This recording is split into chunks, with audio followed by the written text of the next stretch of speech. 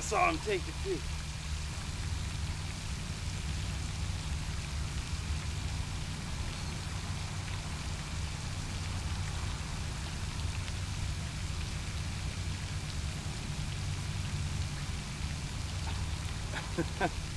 I I go from a two pounder just being just got off to a that little thing. First fish of the day. I got my hand. The one I wanted. I find it really amazing that bass are extremely picky about their soft plastics.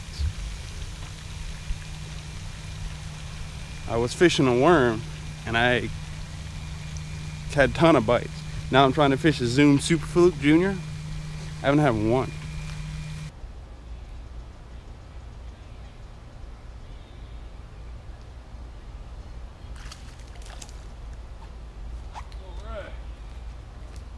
Come on, come on, come on.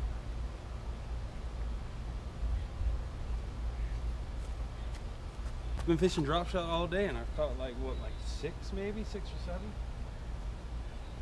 All right, buddy. Enjoy.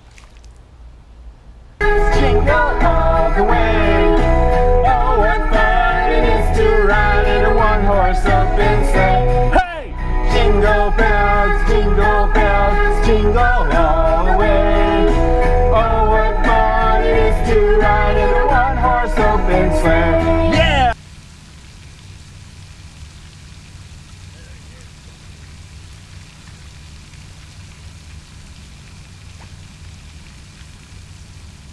Yeah! There we go. It's a lot of hungry fish this morning. Fish number three. I had one on, so technically four, but he got off, I'm not gonna count. This is a good pond though. This is out of all the ponds I fished and filmed at, this is by far my favorite pond to fish. And it's tiny. I mean, look at it. That's the whole pond. It's so little.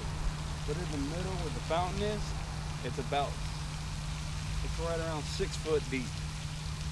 So that's why I think bass can survive in here because it's tiny, but it's got a lot of deep pockets in it.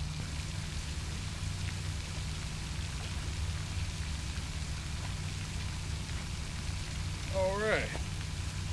Well, Is that the same fish? It looks like it. And let me switch the baits to something a little bit bigger. There's some big ones in here swimming around. That was a nice two pounder I had hooked right there. Alright. Alright.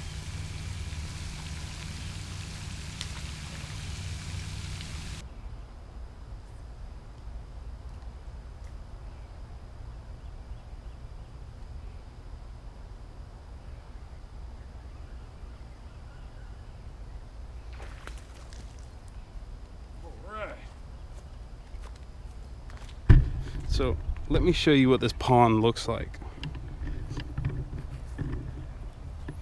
You've got that right there, all the way to down there. This is, I call this my business pond. It's ridiculous. But there's fish in here, as you can see. You see how dark he is from being on the under those trees and stuff? Oh man.